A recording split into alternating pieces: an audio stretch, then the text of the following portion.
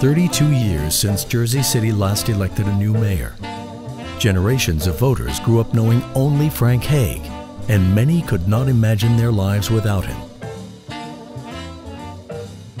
Now, John V. Kenny assumed that hallowed mantle.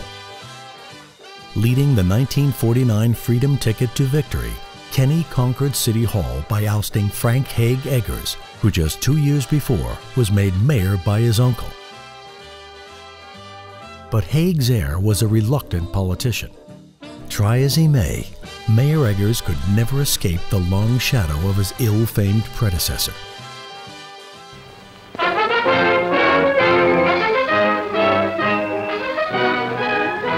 Across the river from the skyscrapers of New York, in Jersey City, a political empire crashes. Winning candidate for mayor John V. Kenny ends the 36-year rule of Frank Hague, one of the last and most powerful of the old-time political bosses. Though he had retired from the mayor's office two years ago in favor of his nephew, Hague still was the boss until Kenny's victory smashed his mighty machine. Hague reigned supreme for almost 40 years.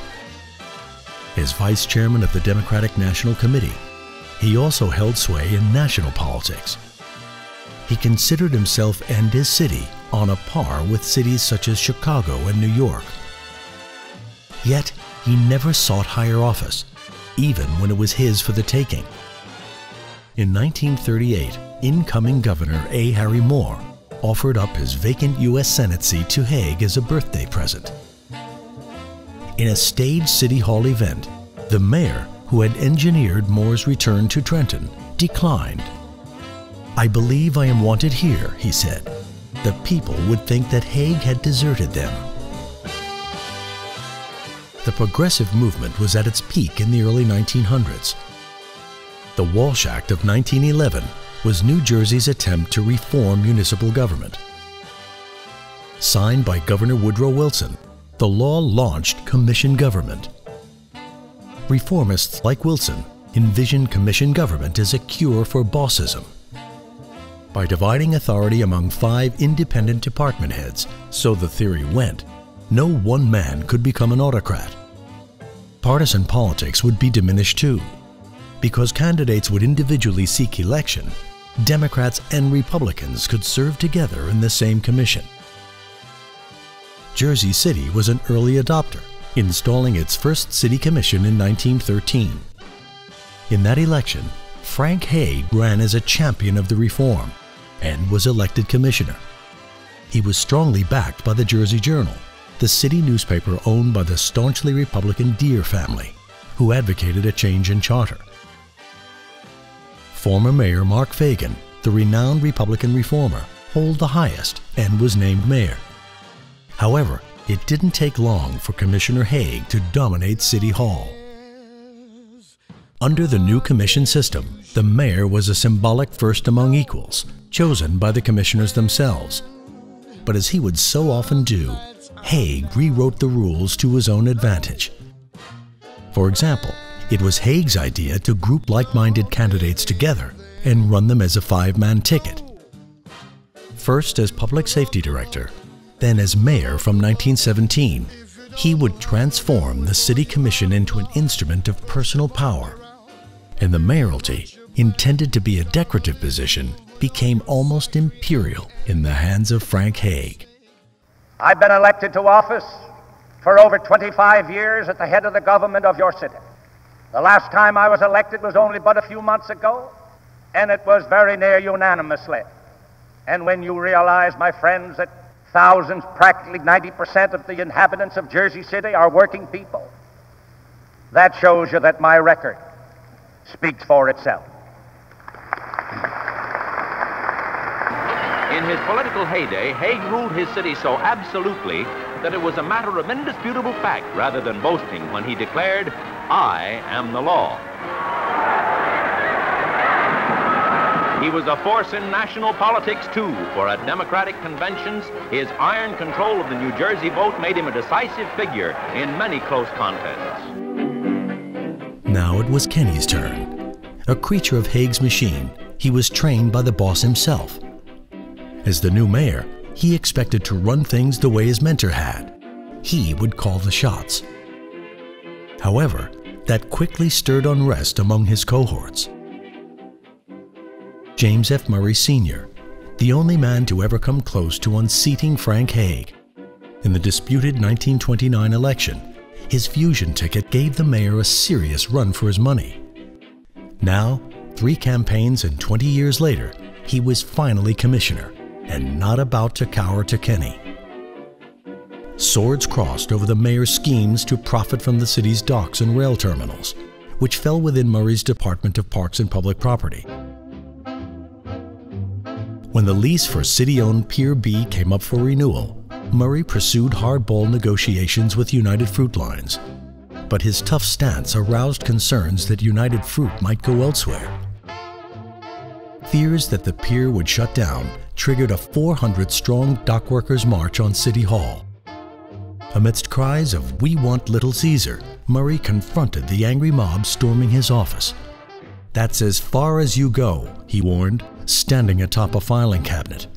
After summoning police, he marshaled the leaders into the commission chambers to vent their grievances. Since the mayor was conveniently absent, it was widely assumed Kenny instigated the stunt to scare Murray into submission. As Hague's second ward leader, Kenny had charge of the waterfront, cajoling loyalty from roughnecks while ensuring kickbacks for the machine. As mayor, he went even further, at times engaging in cloak and dagger intrigue. To control patronage, he actively colluded with mobsters and inserted favorites as union bosses. Such manipulation had a toxic effect on harbor business and ultimately hastened the decline of this vital sector of the city's economy. Despite the mayor's heavy-handed machinations, Murray was determined to flex his political muscle. Utilizing his old anti-Hague Democratic organization, he advanced his son for the 13th Congressional District nomination. This pitted him against the Kenny candidate Alfred Sieminski, a bizarre primary contest ensued. To confuse voters, a decoy candidate also named James Murray was induced by Kenny to enter the race. Although Murray's gambit failed, the die was cast. A schism loomed within the anti-Hague forces. Meanwhile, Commissioner Charles S. Witkowski, the public safety director, decided to wage a war on organized crime he spurred his detectives to harass underworld operatives and arrest racketeers, many of whom had ties to Kenny. The boss was not amused. Witkowski's police heroics and Murray's maverick politics made a collision inevitable. On December 5, 1950, Kenny struck. Reviving a Hague maneuver from the 1920s, he had Murray and Witkowski stripped of their departmental authority but he went beyond the Hague precedent. In one fell swoop, the mayor deposed his wayward commissioners while reducing the five-man commission to three. Kenny's triumvirate made a mockery of the Walsh Act and stirred outrage within the freedom movement.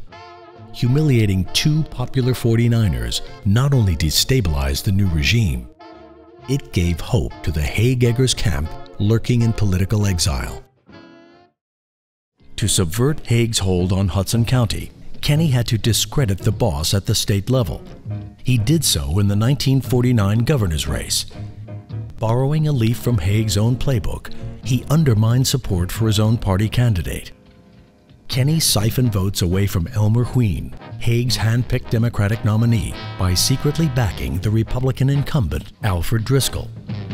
After Wene lost, Hague abdicated his party leadership position and retired for good. That left Kenny the de facto Democratic boss of Hudson County. Hague said last June that Harry Truman could not win. We said he could. We are 100% behind the national leadership of Harry S. Truman and the Democratic Party. To remain county leader, Kenny had to tame City Hall, hence his action to neutralize Murray and Witkowski. However, Murray refused to be sidelined.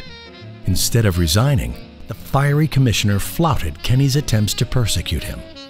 In protest, he barricaded himself in his City Hall office, vowing not to leave. Witkowski, on the other hand, was bewildered to find he'd been evicted.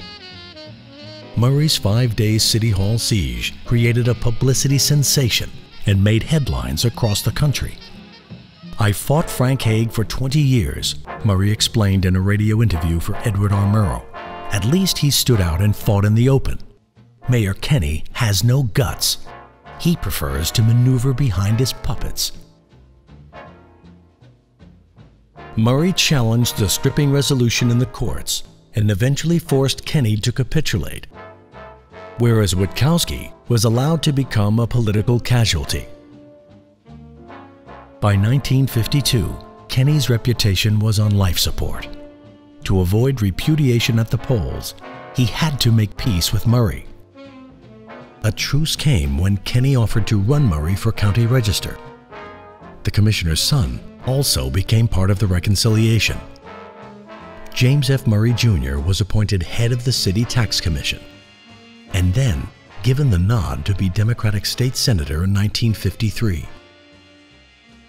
But this stunning reversal of fortunes came too late. Commissioner Murray died on the eve of the 1952 primaries, and his passing shook the political landscape. Whether calculated or sincere, Kenny undertook dramatic acts of public penance. He left his Jersey Shore sickbed to pay respects to the late commissioner, declared 30 days public mourning, and served as griever in chief at Murray's funeral. Then, after narrowly winning re election in 1953, he showcased his allegiance to Murray by personally christening the city's newest public school in honor of his political nemesis. As mayor of Jersey City, I am indeed honored to formally dedicate this beautiful new elementary school as the James F. Murray School in honor of our late and beloved Commissioner James F. Murray. Kenny is best described by one historian as a broker boss. Where Hague's authority was absolute and disciplined, Kenny's was chaotic and improvised. Unlike Hague, Kenny never became New Jersey boss. Though on occasion he did exert decisive influence in Trenton he held together his rickety organization by making ad hoc deals to placate rivals. His remarkable knack for survival was made possible by a pragmatic ability to capitalize on setbacks. The 1953 city election is a case in point. The outcome was as much of a reprise for Eggers as it was a blow to Kenny.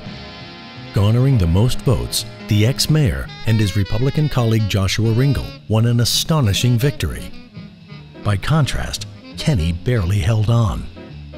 Even though he and two running mates were returned to office, they faced popularly mandated opponents within a divided commission. Or so it seemed. In little over a year, Kenny would regain City Hall and solidify himself as Hudson County Overlord. Turning adversity into opportunity, the broker boss cut a backstairs deal with Joshua Ringel. This left an unsuspecting Eggers hopelessly isolated. His comeback stifled, Commissioner Eggers died shortly thereafter. So by July 1954, City Hall firmly belonged to Kenny. He soon opted to recede from the spotlight and reign from behind the throne.